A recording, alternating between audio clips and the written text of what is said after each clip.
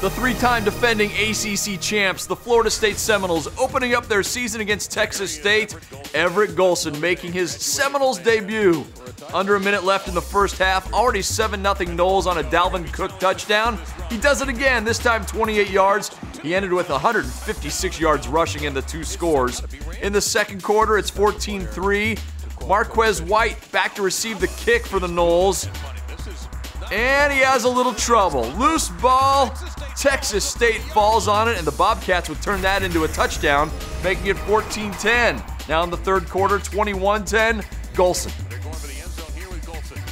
With time, brings the ball down, now finds the open man. Travis Rudolph, the first touchdown pass for Everett Golson as a Seminole, 28 10. But he's not done. Golson to the Izzo. Ryan Izzo, 13 yard score, 35 10, Florida State. And Golson is at it again. Looking over the middle to Bobo Wilson. Golson would end the game 19 of 25, 302 yards passing, four touchdowns all in the second half.